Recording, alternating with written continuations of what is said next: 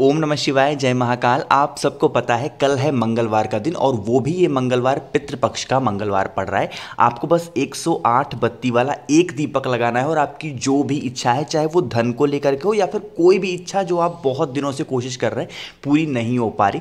पूज्य गुरु जी की कथा से सुन के बहुत अच्छे समझा रहा हूँ। कैसे करना है बताऊँगा, लेकिन उससे पहले हमेशा की तरह वीडियो को अप्लाई करें, आवाज़ जो भी लोग पहली बार सुन रहे हैं, चैनल सब्सक्राइब ज़रूर करिएगा, ठीक है? देखो कौन सी चीज़ की ज़रूरत है, बहुत ही ध्यान से समझिएगा, जो स्क्रीन पर एक आपको सफ़ेद कलर का धागा दिख रहा है। ये कौन सा धागा है? इसको हम लोग बोलते हैं कच्चा सूत। क्या बोलते हैं? कच्चा सूत। ये वही कच्चा सूत है, जो आप लोग पीपल के पेड़ की जब परिक्रमा करते हैं, वो लेके घूमते हैं ना, ये वही वाला कच्चा सूत है, ठीक है? इस तरीके से कच्चा सूत लेना और इस कच्चे सूत की एक बत्ती बनाना है आपको। कितनी? एक सौ आठ। इस तरीके से लंबी लंबी बत्ती एक सौ आठ बनानी है इसी कच्चे सूत से। बात आ रही क्या समझ में?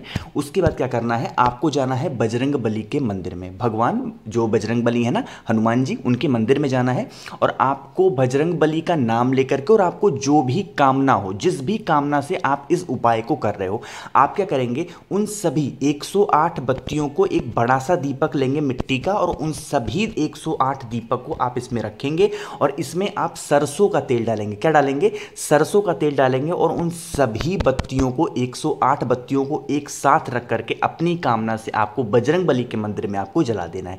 अब आप ये कहोगे, भैया कितने दिन करना है और सुबह करना है, फिर शाम को करना है? ना? पूछोगे। देखो तो किसी भी महीने के एक मंगलवार को, जैसे एक महीने में चार मंगलवार पड़ते हैं ना तो किसी एक मंगलवार को हर महीने आपको इस उपाय को करके देख लेना है। आपकी जो भी कामना होगी, वो पूरी ज़रूर होगी। कोशिश करिएगा इस उपाय को शाम के टाइम करने की, प्रदोष काल में, ताकि इसका जो लाभ हो, आपको जल्दी मिले। कोशिश की है, बहुत अच्छा समझाने की, बहुत ही सुंदर सा उपाय था। करके देखिएगा, बहुत आसान है। आपको लग रहा होगा कि एक बत्ती बनाना बहुत बहुत ही कठिन काम है या फिर बहुत डिफ़िकल्ट काम है, ऐसा कुछ नहीं है, बहुत आसान काम है, एक बार आप कोशिश तो करें, आप ज़रूर कर ले जाओगे, ठीक है? तो कोशिश की है, मैंने भी आपको बहुत अच्छा समझाने की अगर कुछ समझ में नहीं आया तो बिल्कुल मत परेशान हो। आप नीचे कॉमेंट में पूछेगा पूरी कोशिश करूँगा रिप्लाई करने की, जो भी लोग आवाज़ पहली बार सुनते हैं ना, चैनल सब्सक्राइब ज़रूर किया करिए और हाँ वीडियो लाइक ज़रूर किया करिए। ओम नमः शिवाय, जय महाकाल।